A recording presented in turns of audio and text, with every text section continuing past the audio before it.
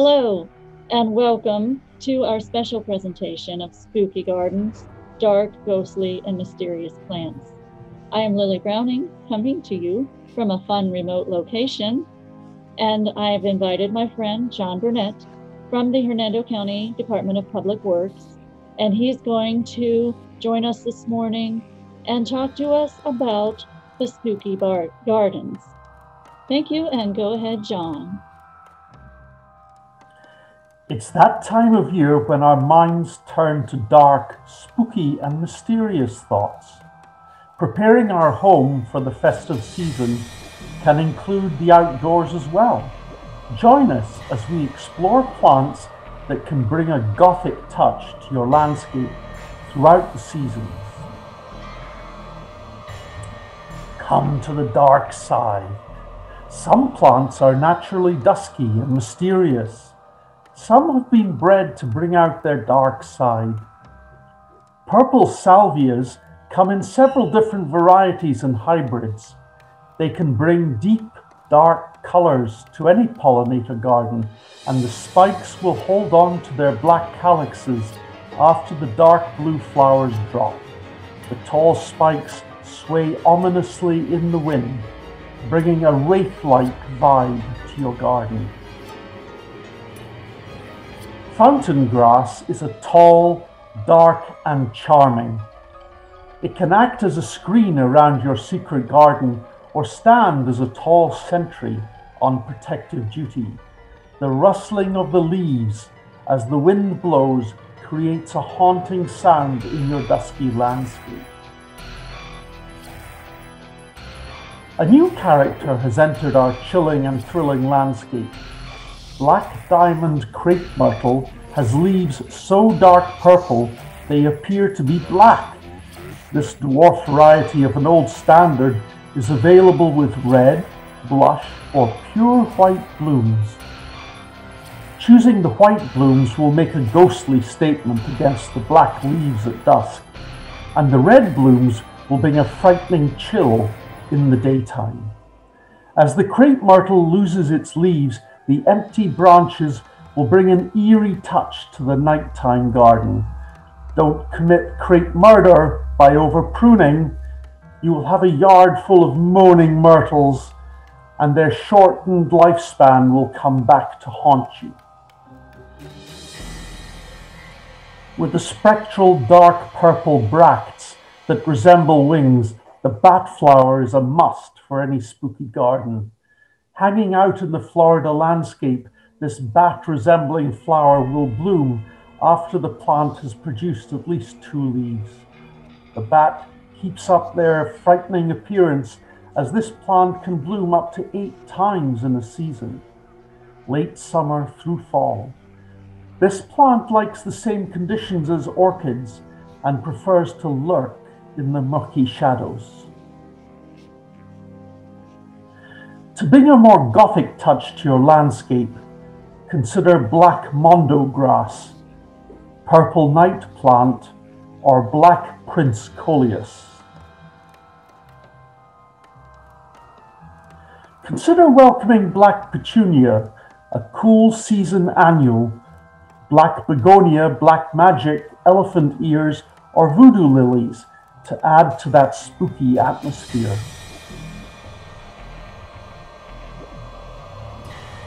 Turkey oaks are called blackjack oaks by native Floridians. If you have some turkey oaks, their thin, twisted appearance will add character to your dark garden.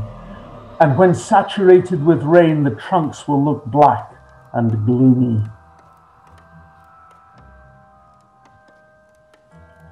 Apparitional additions. With a dark backdrop drop to your Gothic garden, Consider adding ghostly white plants that will bring an unearthly quality to your piece of land. Dusty Miller is a cool seasonal annual which is silver white and can bring a ghostly feel to the garden. It can also be worked into a winter themed garden for future holidays. Saltbush is a native shrub that is covered in white fluff in the fall. Its spindly, gangly frame brings character to the spooky garden, and when covered in white, can invoke a fearsome spirit in the dark of night. Spider lilies are an eerie addition to any ghostly garden. Native varieties are available, and their arachnid-like illusion will startle your garden guests. A water feature is a mainstay in any horror book or movie. Bring some phantasmal fun to your pond or water garden by incorporating native white water lilies. An evening garden is simply not complete without some type of night blooming cereus.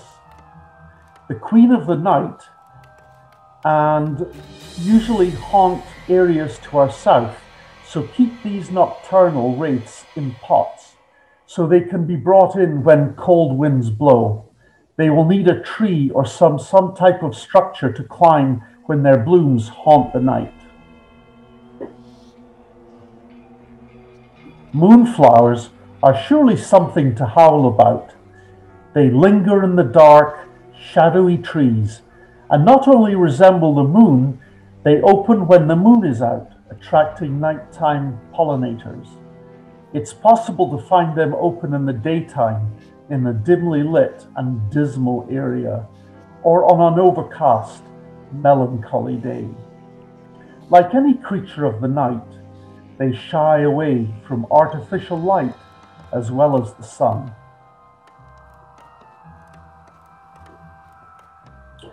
Other white, silvery, or ghostly plants to consider would be angel's trumpet and buttonbush.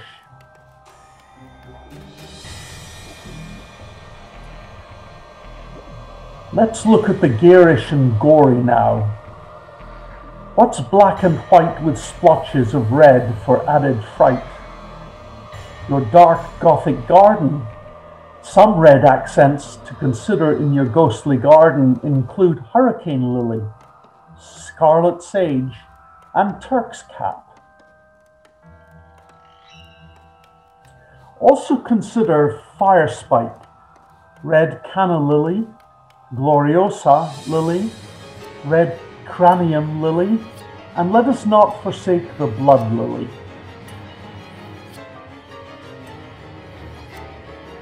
Dragon fruit, fruit will give you a freaky red fruit and a white nocturnal flower to add to your ghostly group. Dragon fruit is cold sensitive, so keep it in a container and bring it inside when the night air brings a chill. There really is a vast array of plant choices when seeking that touch of red to add to your fearsome landscape. Carnivorous plants bring a voracious appetite for flesh to the wetland area or bog garden. If you have the right conditions, consider bringing sundew into the scary mix. Pitcher plants trap unsuspecting prey so the hungry plant can absorb the protein from their bodies when they lure. These plants are very frightening in the insect world. Butterworts or carnivorous bromeliads will make a perfect spooky addition to your wetland or container garden. Even some native orchids and other wildflowers lure in their unsuspecting prey and dissolve them whole.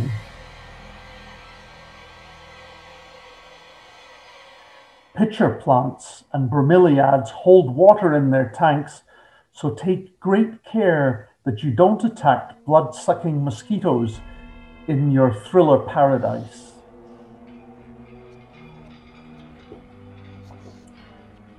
The devil is in the details.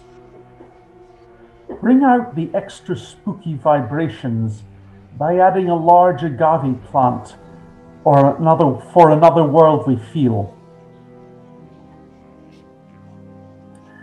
A carrion flower will not only provide a super name for your goth garden, the smell of rotting flesh will add an extra layer of realism. Brain Cactus will provide the thought to your abnormal landscape. Keep that cerebral houseplant in a quirky container and bring it outside for special spooky occasions.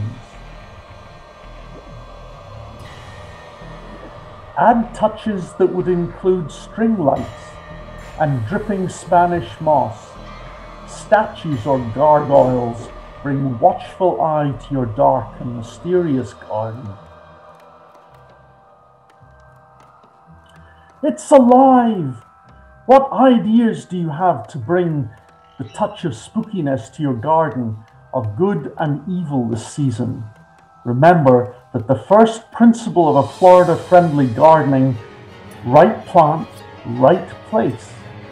Check site condition requirements not all of these haunting plants bloom at the same time, so you'll be able to keep them frightening fun up there in other seasons of the year. Check around for availability of these plants. Some are common to our area, and others might require a bit of intrigue and mystery to uncover. Enjoy your hauntingly spooktacular garden if you dare to continue your journey into Florida friendly landscaping, contact Lilly Browning at lilyb at hernandocounty.us or conjure her at 352 540 6230. Thank you very much, John. And thank you, everyone, for joining us for Spooky Gardens.